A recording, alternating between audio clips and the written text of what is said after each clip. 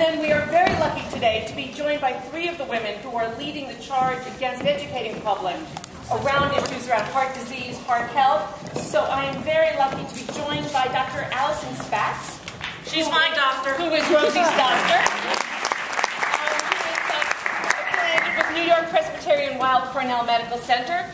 Uh, Dr. Holly Anderson, who's the Director of Education and Outreach for the Ronald Perelman Heart Institute, and also an attending cardiologist at New York Presbyterian Hospital. And uh, finally, British Robinson, who is the Chief Executive Officer of the Women's Heart Alliance, a newly formed organization uh, dedicated to raising awareness of. Uh, so let me, thank you very much. And there's a mic out in the audience that we will we will make available in just a few moments. But um, let me get let me get started by first of all, once again, thanking Rosie for telling your story, for telling us your pleasure. Truly.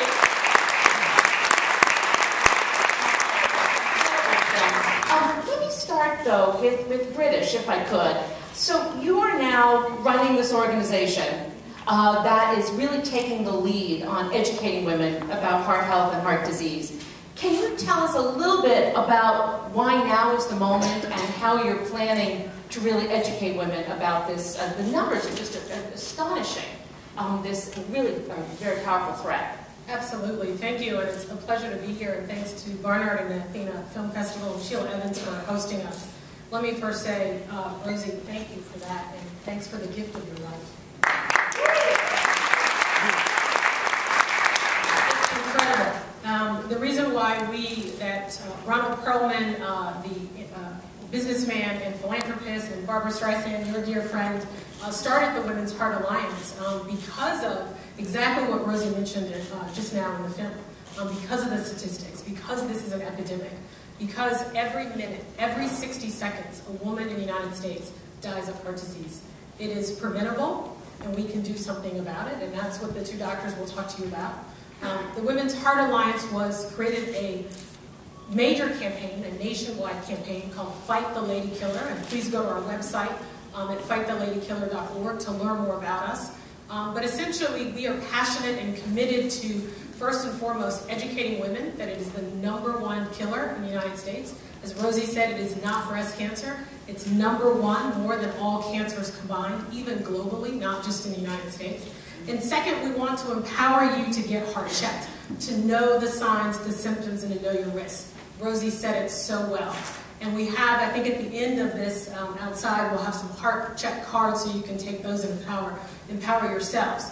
The third piece is we also want to move Congress and our federal government agencies um, to dedicate and increase funding for women's heart disease, whether it be research, clinical trials, or even programs that are available in many communities in the United States. Women don't even know about. They can actually get help and get assistance. So the time is now because too many women are dying.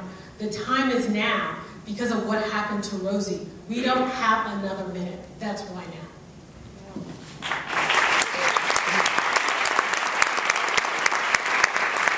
Rosie, you had some fabulous ideas in the film about what to do to spread the word. I particularly like the Broadway musical. Thank you, so do I. and I am recently, I'm going to be available soon. I don't know Perfect timing for this. We, we will be the close the idea was hatched. So. Yes, well, I would, yeah, it would thrill me to get to spread this message in any way. You know, after I had my heart attack, Cindy Berger was my close friend and publicist uh, she was crying, saying, you know, I'll kill you if you die. And I was like, well, why don't you get me and all the other women who've had heart attacks who are famous, and we'll all do a PSA. And she said none of the women that she knows who are famous who've had heart attacks are willing to talk about it publicly. And that's what inspired me to call Sheila and say we have to do something. Do you, do you have any idea why that is so? I mean, we've become so public about breast cancer, about ovarian cancer. Why? why you know, it's considered a man's disease. It doesn't have like the cachet of breast cancer has femininity and pink ribbons and, and prettiness and I don't know. But they've also had a great marketing campaign for the last few years. Everybody got behind it, but it, it felt very uh, disingenuous and kind of tragic to me that I spent six years on daily television telling people to get a mammogram when they were 10 times as likely to die of heart disease. And there I was eating ding-dongs, you know, saying I didn't give a shit about it. And I, didn't, I wasn't even informed. So I think that that's, information is knowledge and power, and women, we need to know what's killing us, and it's killing us more than anything else. Holly, Holly and, and Allison, you, you must see this. I mean, why do women not speak out more? What can, should Well, women be I doing? think it's something Allison and I have seen all our careers, that women don't talk about their heart disease. And I take care of a world recognizable movie actor, female, who didn't want to talk about her heart attack because it's no man's disease. And actually the Women's Heart Alliance did our research and found out that only 27% of women can name another woman in their lives with heart disease. Only 11% can name another woman in their lives who has died from heart disease. And this is because women don't share their stories of heart disease. And one of the reasons is that they feel stigmatized by the disease. That they don't want to share their, tell people they have heart disease because they feel that they might be judged as if they should have taken care of themselves uh, more, eaten better. And it's the youngest women who actually are the most likely to feel this way. And although death rates due to heart disease is decreasing across the board in this country, death rates due to heart disease is actually increasing in our youngest adults, aged 29 to 45, and increasing faster in young women. And Yolanda King, Martin Luther King's daughter, died on her 50th birthday when she just turned 50. Same exact thing. I had 100% blockage of her LAD, and she was dead before she hit the floor. So you all know at least one, Yolanda King. So, you're making me nervous. I'm glad. This is Good, very much it's good for me. What, what should women be doing? Well, I think it's not our goal to make women nervous. I think it's, it's to educate women and, and for people to be aware of the symptoms. Because if you don't know or recognize the symptoms that you're having, then there's no reason for you to go to the doctor and get help. So you have to recognize that these symptoms can be very variable, and there's nothing wrong with going to the doctor, even if it's a false alarm, and saying, you know, I don't feel well, there's something the matter, and get tested, demand to be tested. And it doesn't just affect older women. It affects 20-year-olds, 30-year-olds, 40-year-olds. And I mean, we do see a lot of young women in our practice that have heart disease. So just be knowledgeable, educated, spread the word so that people really know to get help, get screened, and then we can really make a difference. We do want to empower women. We want to empower them with knowledge. But one of the great things about being a cardiologist is that there's so much you can do to prevent heart disease. And prevention is crucial because all too often the first symptom could be sudden death. So, but anything that you do that's good for your heart is good for the rest of you. Okay, so it's. Want to give us a little list? Yeah, well, I would say physical activity is a fountain of youth, right? You are what you eat. You gotta move. You are what you eat. Get a good night's sleep, release stress, laugh, go out with your friends. There's a, you know, there's an old adage that said the best thing a, woman, a guy can do for his health is to get married, and the best thing a woman can do is go out and have lunch with her friends. all of that, all of that matters. That lifestyle matters. Yes, get your blood pressure checked. Yes, get your cholesterol levels checked. Yes, you know, make sure your sugar levels, are, if they're too high, get them treated. Yes, family history matters. But we have a whole new science in medicine right now called epigenetics, and that means the way you the way you live, the way you to how much you move, how you think especially can change the way your DNA gets translated. And it doesn't take a lot. You don't have to exercise every day. You don't have to run a marathon. You just have to walk. You need to walk. You could go to the gym 20 minutes a day, three days a week. You know, a recent study just came out that showed that actually just moderate exercise can really make a difference in cardiovascular health and living longer. So it doesn't take a lot.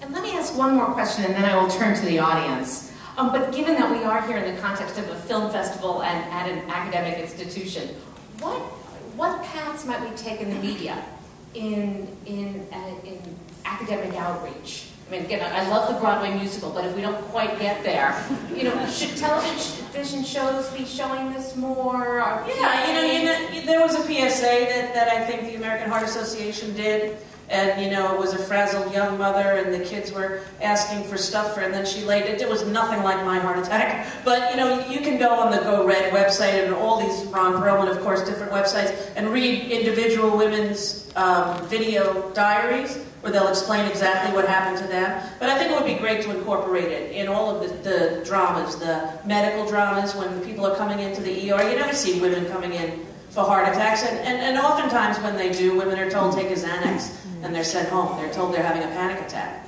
when they're in fact having a heart attack. So I think education and, and incorporation into the mass media um, productions would really help.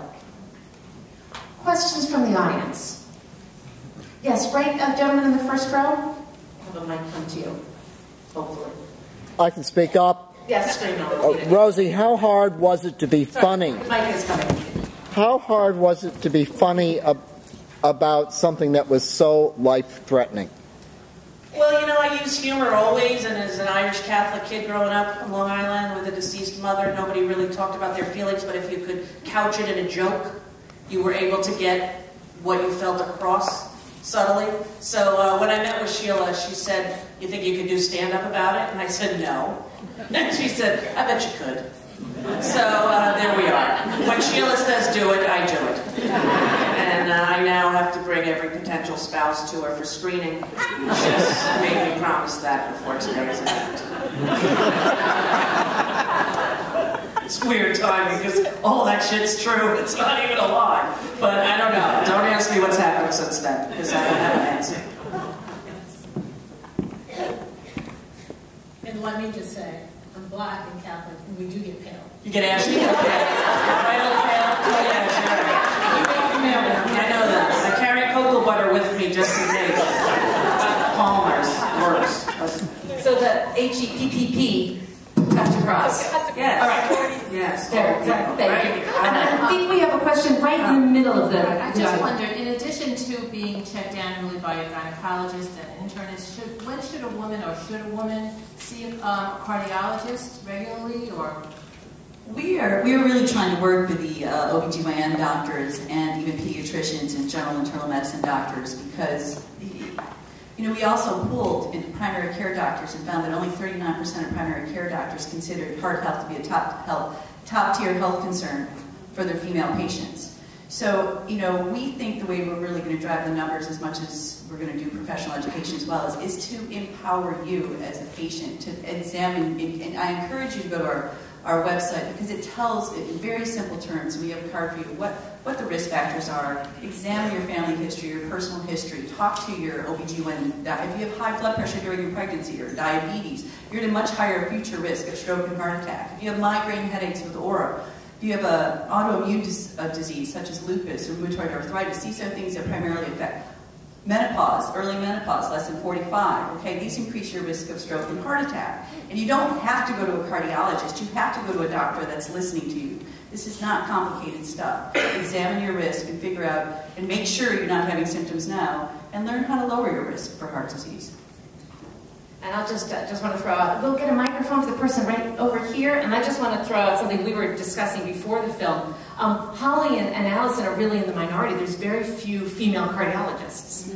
So even though women are, you know, over 50% of med school students, by the time they hit the cardiology stage, most of the women have gone on other paths. So that's probably part of this puzzle as well. The best ones become cardiologists. Yes. yes, please. Uh, how is this film being distributed, and have there been any unexpected responses to it from either doctors, It's women? HBO. It's on HBO on Valentine's Day, and then it'll be on HBO's To Go uh, platform, so you can watch it wherever you are. And uh, that's kind of the best distribution for documentaries ever that you could get uh, under the tutelage of Sheila Nevins, Academy Award winner multiple times. So that's where, and all the doctors, we, we put it through a bunch of different doctors, all my doctors, to check that everything I said was accurate, because, you know, sometimes, like Brian Williams, I forget. no, really, you know, you, I, you know, what the fuck is that? I was in a helicopter that got hit by an RPG. I forgot I wasn't in it. I wrote and directed A League of Their Own.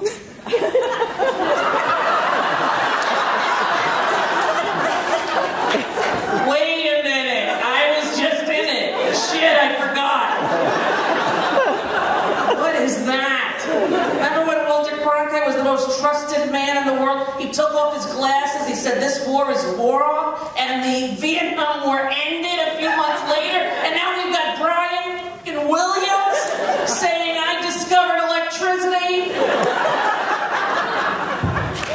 Will that deflect from my divorce?